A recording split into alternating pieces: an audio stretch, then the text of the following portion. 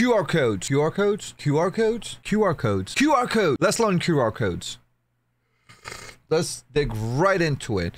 We're going to go right over here. Okay. You're going to type in QR code 3D print. Okay. QR code 3D print. This second one that comes right here, printer.tools. Let's go over here. And it's pretty simple over here, all right? Now here you can do text slash URL. Okay, you have a website, it'll take you to a website. Over here, you can do the Wi-Fi. So I done an Etsy order for somebody that was uh, running an Airbnb. And so I made it like a house shape and I said scan here for Wi-Fi. Then I put the QR code there. So if you scan it, it logs you into the Wi-Fi. Okay. Email, self-explanatory, sends an email to whatever, whatever. Contacts, okay, that that's self-explanatory too. Contacts. And then an SMS. I haven't tried this one, but I'm guessing it sends a message to somebody. Okay. So, but we're going to do this real quick. I have my Etsy link right here. So we're going to put our Etsy link in here. All right. Now, let's go down to the options. All right. We got rounded rectangle or regular rectangle. Okay. 100 millimeter, 3 millimeter depth for the whole base. Uh, corner radius is 5.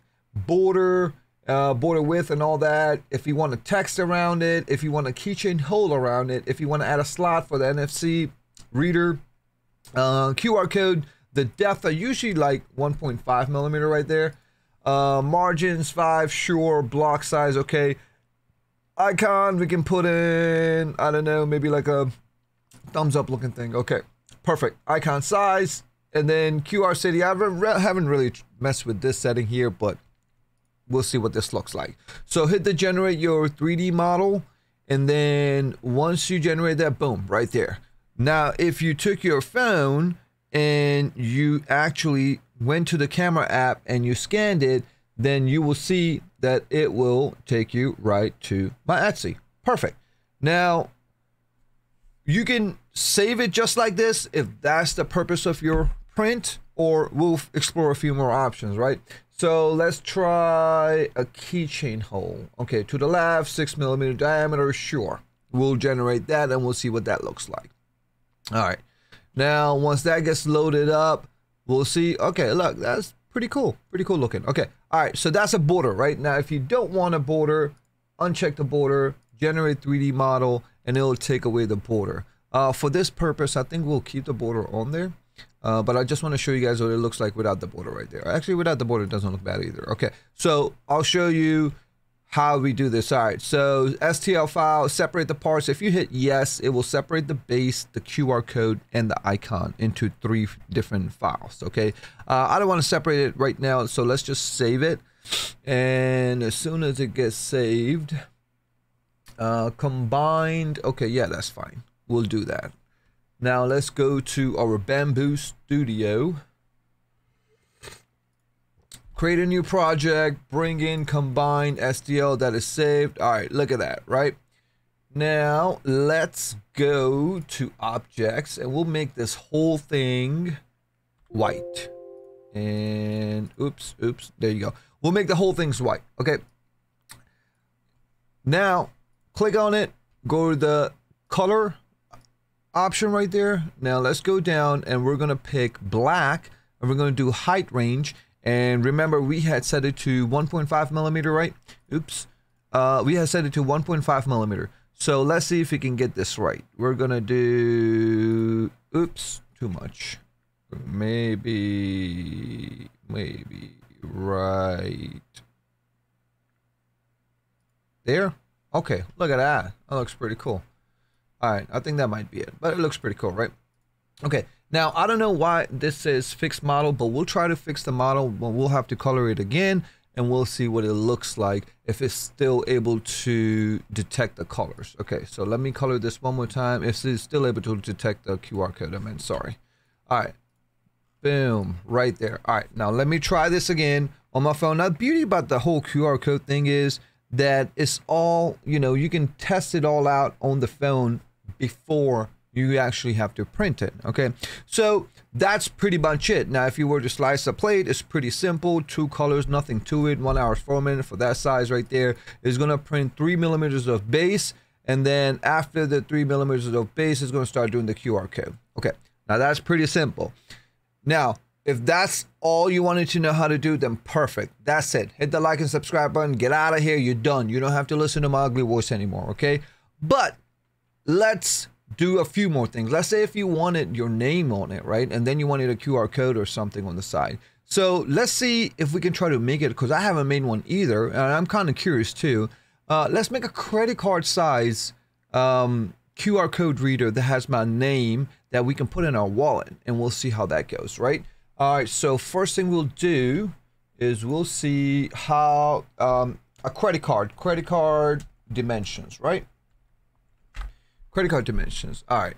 Uh, here, let's look at this guy here. So we have 85.6 millimeter, 53.98, and corner radius is 0.125. Uh, how thick it is though? How thick is it? Okay, we'll figure out how thick it is. Now let's go to Fusion real quick. Uh, what I want to do is I want to put uh, 3D Print King on one side and maybe scan here with an arrow. I don't know. And then um, maybe I don't know. We'll see what we're gonna do. But let's get the credit card size in there first, and then we can start um, messing around with some of the stuff. All right, so here we are. Let's create a new sketch. Flat plane right there and we had the sizes 85.6 by 53.98 so 54 by 86 54 by 86 we'll keep it easy right create a rectangle so 54 oh no that was 86 so 86 by 54 okay so that's supposed to be size of the credit card right now the corner radius was 0.125 i think uh 0.125 yeah so let's do the corner radius 0.125. That can't be right. Uh, 3.18 millimeters because we're working in millimeters. So 3.18 millimeters, 3.18. That is the corner radius. Click this one, click this guy, and click this guy. All right, perfect. We'll hit enter on that. Now, let's see how thick is a credit card. Credit card uh, thickness. Let's do thickness. and I want to see if we can actually pull this off. 0.76 millimeter thick. 0.76. That means uh, every layer is 0.2 millimeter thick. So that means we can probably get away with 0.8. Two layers of base, two layers of height on the QR code and everything. And we'll try that and see if that works. Okay. So we'll do, do, do, do, do, do, do, do, what are we going to do? So I'm going to leave this spot here for the QR code, I think. And then I'm going to put 3D Print King over here. All right, let's try this out. Uh, let's do that. Okay. Uh, 3D Print King, I guess. And let's make this 5. No, 7. Um, 8. Sure. All right, center it up. Center it up. All right. And we'll pick a good looking font. Ooh, not that. Uh, nope.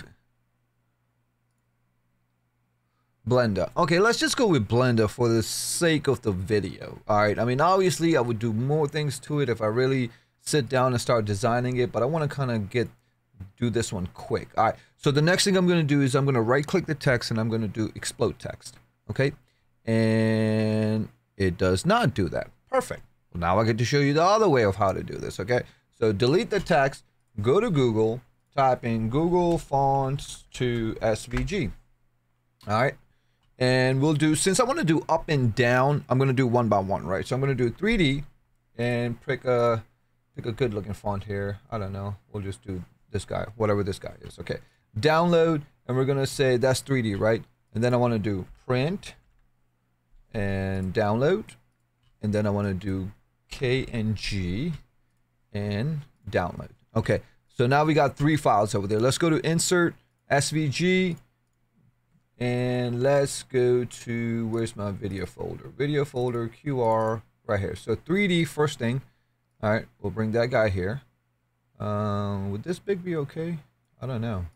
We'll do maybe that big. Okay. 3D hit enter, insert again, SVG, go to print, and we'll bring this guy here, and we'll do like that, enter, Then we'll do another one and bring in the KNG. Okay. And now, like I said, you can do whatever you want on here, scan here, this and that. You got time, put that little arrows, taken to the QR code and all that, right? All right. So we got 3D Print King here. Uh, we're going to make it 0.8 thickness, right? So 0.8. So base is going to be 0.4. Got it. All right. So here's what we're going to do. You're going to hit E for extrude, highlight the whole thing, do negative 0.4 okay? Because i want the base to be 0.4 millimeters. Do negative because you want it behind the sketch so we can still work on the 3d print sketch on the front okay? So new component and okay now let's go to the sketch and bring that back all right? Now let's pick this guy hit e this guy this this this this this this this this this we'll do 0.4 millimeters and we'll do new component okay now, let's see what we got. Now, this is looking like a little credit card size right here. Okay, so that is a credit card size. All right. Let's export it and take it to Bambu and see what it looks like. Export and 3D QR. Let me just do 3D QR, whatever. And I do step file and 3D printing Etsy. Sure. Okay. Now let's go to Bambu over here. Let's prepare, cut that out bring a new model in, and let's do 3D QR step that we downloaded. Okay, so that is our credit card looking size. So let's change it all to white. And then we're gonna bring in the QR code. All right, here's how we're gonna do this. We're gonna go back to the, the QR code generator. All right, I'm gonna take out the keyhole. My depth of the base was 0.4 millimeters. So I'm going to make 0.4 millimeter right there. And my QR code, my lettering is 0.4 millimeters, two layers, right? So I'm going to make the QR code the same one. So 0.4, 0.4 right there. Um, I don't want a border. Okay, we don't have a border there. I took off the key tag. Let's generate the 3D model and let's see what it comes out looking like. Okay, so that's it right there, 0.4 and 0.4. Okay, uh, I'm not worried about separating the parts right now. We'll just hit save as STL. And I'm going to name this uh, credit card size. Credit card size. Okay. Go back here. Now, what I'm going to do is I'm going to bring in another model and credit card size right here. Obviously, it's way too big. Okay, we'll resize it. So we'll put, we'll make the whole thing white and let's resize this thing. Okay, so this is 0.8 uh, millimeters. So we're gonna keep the 0.8, but here's how we're gonna do this. Let me just resize this real quick to the size that I want. So that's pretty much gonna be right there. Okay, now I'm gonna uncheck the uniform and I'm gonna go back to 0.8. Okay, that's gonna bring my size back to 0.8. Okay, so let's do the color real quick. Let me do, okay, we couldn't do the color separate, but here's how you assemble this. Okay, so if you go here and you put it right there, you gotta click the 3D QR or step file, and then you gotta click the credit card. Okay, right click and do assemble. Once you do assemble, it turns it into one piece. Okay, now let's color this thing right here, and we had 0.8, no, 0.4. 0.4 and it's black and we got the height right there. All right, let's see if we can pick this out and do it nice and evenly. Uh, where is it? Right here. Oops. Nope, not there.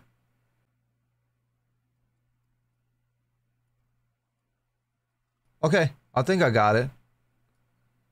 Oh, crap. I made it sideways. Okay. Let's go undo, undo, and undo. Okay, let me turn that back around right here. Okay, now I can click this and this, assemble, go back to coloring it, and let me try to get this straight again. Okay, uh, let me see if I can do this real quick. Okay, now let's slice it up and see if we got the coloring right on this one. All right, you see how some of the QR code is not coming in correctly? And I'll show you a way to fix that. And let's go to prepare, go back to global, and go down to the wall generator, pick the other guy, and let's change this minimum wall width to 15%. Okay. Now slice it. Now let's take the seams away and let's see if it's actually gonna print our thing. I'm gonna give it a test and I'm gonna see if my phone is able to pick this out. And sure shit, it still picks it out. Okay, so what I'm gonna do is I'm gonna go ahead and uh, print this and see what it comes out looking like. Now remember one thing, the wall generator, I learned this when my prints are like way too small and they're tiny and um, I needed to kind of bring in those fine details, then I'll click the wall generator, I'll change that, and I'll do the minimum wall with 15%. And I've messed around with different settings to see what comes out right. So I'm gonna go ahead and um, I'm gonna go ahead and print this and see what it comes out looking like and um, if you can scan it or not, and then I'll show you guys. All right. And here we go. Holy S. I cannot believe that it worked. It actually worked. I mean, it's the size of a credit card. So obviously it's going to be flimsy, but you can make it any size that you want. But I actually wanted to try the actual credit card size out. And I've never tried the this size before, but it worked out pretty damn cool. And I'm glad I got to do it because in the beginning of the video, I did not have this in my mind. But, you know, I'm glad I did it. Um, now, obviously, you can make it as thick as you want, as big as you want, whatever you want to do with it. One thing that I've learned is, you know, doing this QR codes, don't do it flat. You know, our Bambus are capable of doing some crazy crap.